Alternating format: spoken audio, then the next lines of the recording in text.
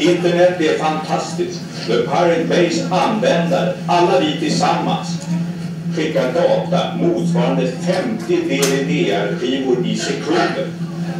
Och så utropar han i sekunder. Det är enorma mängder glädje och njutning och syftar då uppenbarligen på att man tillgodogör sig värdet av rättighetshavarnas prestation. Räcker generella nåd Alltså räcker det att ge ut Dagens Nyheter för att du ska bli ansvarig för annonserna i Dagens Nyheter?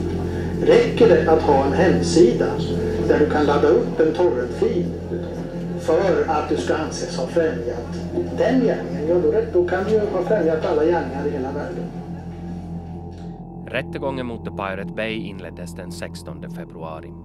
Webbplatsen som sägs vara en av internets absolut största nedladdningsplatser för film och musik och mjukvara. Från att ha krävt ett visst mått av tekniskt kunnande så bidrog The Pirate Bay till att göra fildelningen väldigt enkel. Vem som helst kunde ladda ner material och om man så ville upphovsrättsskyddat material från nätet. Det blev för lätt och enligt åklagarsidan är det Peter Sunde, Gottfrid Svartholm Varg, Fredrik Nej och Carl Lundström som bär ansvaret för att det blev för lätt för folk att som underhållningsindustrin säger stjäla film och musik. 25 miljoner människor använder sig av The Pirate Bay runt om i världen. Och i och med populariteten så har också The Pirate Bay blivit själva symbolen för en upphovsrättskritisk ideologi som präglat fildelningsdebatten i Sverige. En ideologi som föddes ur organisationen Piratbyrån 2003, den organisation som året därpå skapade den nu ökända sidan The Pirate Bay. Ja, vi kan, kan ha varit den första. Jag tror nästan att det var den här kanske. Akira, en japansk tecknad film som är ja, väldigt, väldigt bra faktiskt. Vi startade ju sidan, eh, då låg den i eh, en lägenhet i Mexiko. Att då, då var vi lite så här tveksamma vad som gällde juridiskt. Så vi hade en kontakt borta i Mexiko som fick ha eh, någon bärbar dator, en eh, gamla datorlådor, eller gamla datadelar som låg i en låda och sånt. Så fick ja, tjänstgöra då som server. Att det, allting gick genom den. Men efter några månader så förstod vi att det där var inte hållbart så då flyttade vi till en snabbare ställe i Stockholm. Det som kommer är ju att det kommer lite hotbrev och varningsbrev och sånt ifrån ja, eh, upphovsrättsmän till, eller ja, bolagen bakom upphovsrättsmännen är det ju alltid. Till exempel Microsoft, och stora filmbolag och sånt där. Då skriver de långa texter om vad som, har, vad som är fel och vilka juridiska paragrafer som gäller.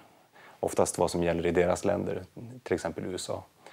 Och eh, ja, till slut ett, långt krav på att vi ska ta bort filen från hemsidan. Vissa sidor tar ju bort de här sakerna för att de är rädda och det kan jag ju förstå. Det är, får man ett brev från Microsoft som hotar att stämma skiten ur en så då kan jag förstå att man blir skraj. Men vi ansåg ju att vi har ju lagen på vår sida. Så. Den här intervjun gjordes i februari 2004. Exakt fem år senare, i februari 2009, så satt Tobias i Stockholms tingsrätts vittnesbås på Fleminggatan 14 för att berätta om sin andel i det som vuxit från internet ut till första sidorna i Europas största tidningar. Och varför blev frågan så väsentlig då? Jo, för någonstans på vägen från en liten server i Mexiko till 25 miljoner användare så blev The Pirate Bay för många en symbol.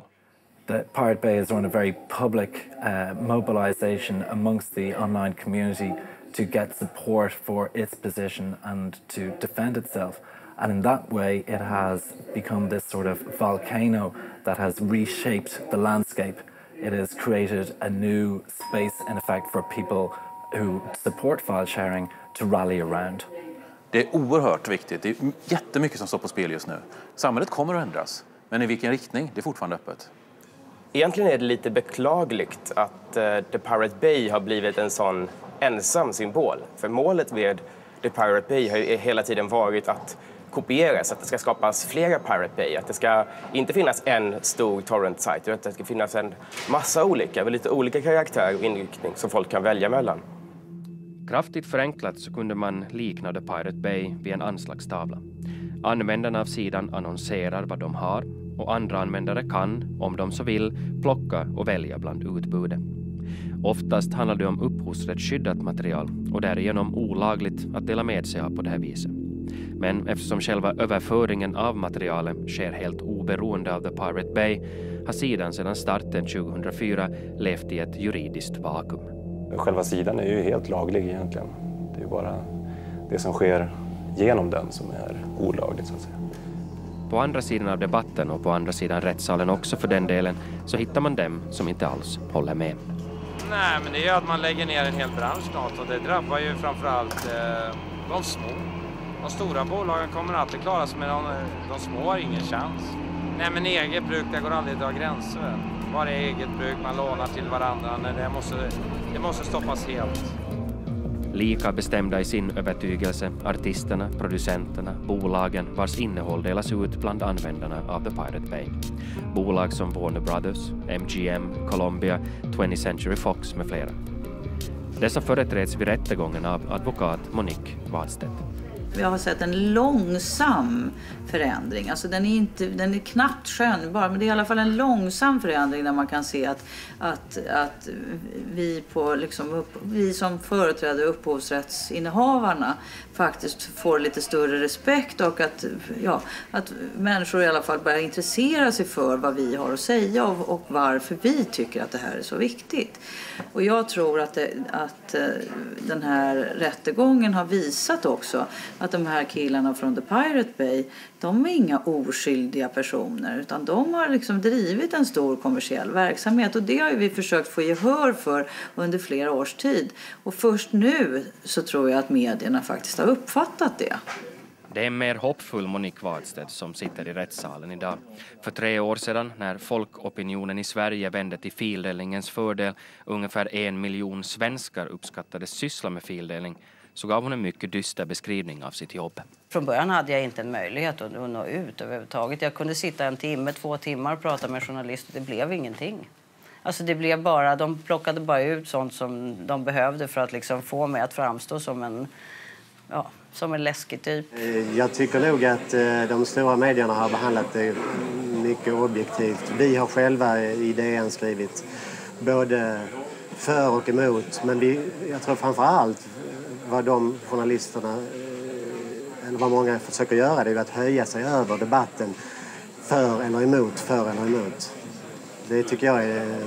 Men, men, men du kan nog, det kan nog stämma att det har varit mera fördel för eh, fildelarna, ja. Jag kan hålla med om det. Fri fildelning, skyddat privatliv. Under 2005 så var det en väldigt intensiv debatt i Sverige och vi märkte ju att på vårt forum, Piratbyråns forum, så höjdes det en massa röster som sa kan inte ni starta ett parti? Det är dags att starta ett parti. Vi var helt ointresserade av det för vi vill inte jobba på det sättet själva. Vi har vår egen, våra egna metoder. Men det var, vi hade väntat oss att någon skulle starta ett parti. Däremot hade vi ingen aning om vilka det var eller var det kom ifrån när de väl startade den 1 januari 2006. Webbsidan kom ju upp klockan 20.30 den 1 januari. Första gången jag kände att jag hade tappat kontrollen över hur snabbt det växte var klockan 10 på morgonen dagen därpå. när eh, jag såg i en, ehm, alltså ungefär 12 timmar efter jag hade satt upp webbsajten, när jag märkte att svenska dagstidningar började skriva om att jag hade satt upp en webbsajt. Mm, vad är det här? Och sedan exploderade det ju bara i svenska medier de kommande dagarna. Sen exploderade det i nordiska medier och så kom det i europeiska och så över resten av världen. 4 januari fanns mitt foto på en tidning i Pakistan. Där någonstans undrar jag vad det var som höll på att hända omkring mig just då. Det där är väldigt störande. Piratpartiet föddes i svallvågorna av fildelningsdebatten och ställde upp i riksdagsvalet i hopp om att ännu tydligare lyfta fram frågan om fildelning. Vidare från nätet och subkulturstatus och in i den riktiga samhällsdebatten och Under månaderna fram till valet den 17 september 2006 så växte fildelningsfrågan fram som en riktig valfråga. Hela debatten är bisarr faktiskt. Jag tycker att det är, eh, och eh, även, jag tycker också att de etablerade politiska partierna i Sverige har, har gjort mig mycket, mycket eh, besviken.